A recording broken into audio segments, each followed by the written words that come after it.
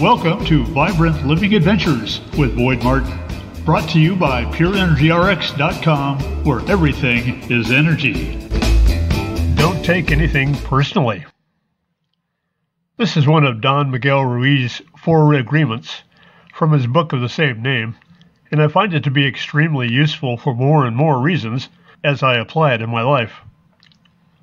Lately, I've been focusing on this practice while listening to people talk about other people.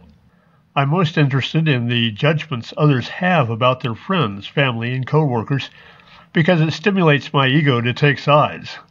I hear that so and so is irresponsible, and it brings up for me how undesirable being irresponsible is. This is me taking what someone else says about someone else personally. I apply their judgment to the way that I see myself through the lens of my own value system. By not taking personally this judgment of irresponsibility, it frees me up to realize that without irresponsibility, how could I learn about responsibility?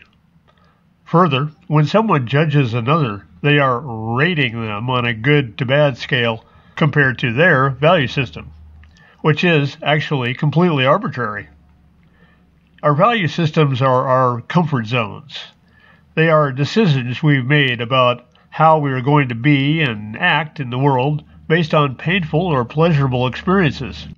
Since everyone has completely different experiences, it is impossible to accurately judge whether or not they actually are some way. So, because of this, we simply judge another against our own value system.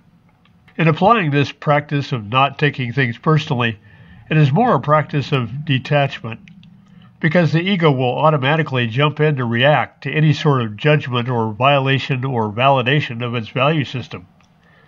The trick is to embrace that reaction and fully accept that it exists, as opposed to resisting it or going further down the rabbit hole by getting defensive and justifying why you responded that way. It wasn't you, it was your ego. Without the ego, how would we learn anything about ourselves?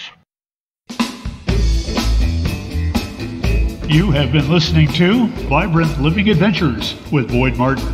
Brought to you by PureEnergyRx.com, where everything is energy.